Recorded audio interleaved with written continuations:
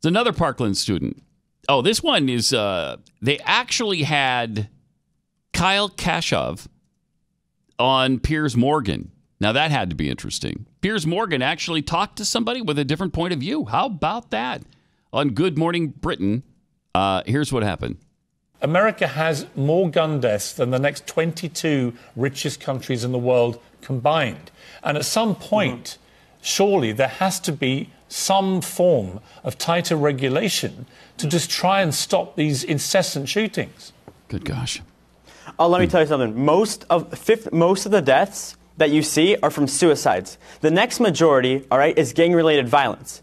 And stripping away the rights of individuals who are law-abiding citizens won't hmm. solve the problem. And let's say we look at assault rifles. 3% of all gun deaths are with assault rifles. 68% of those are suicides. So saying that we're going to ban all semi-automatic rifles will not solve the problem. We have to look at gang-related violence, as that's where most of the numbers come from. Way to go, Kyle. How about that?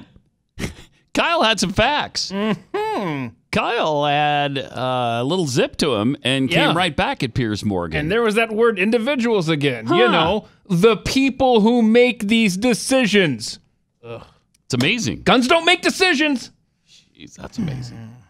I like this kid. This kid can can come on the show.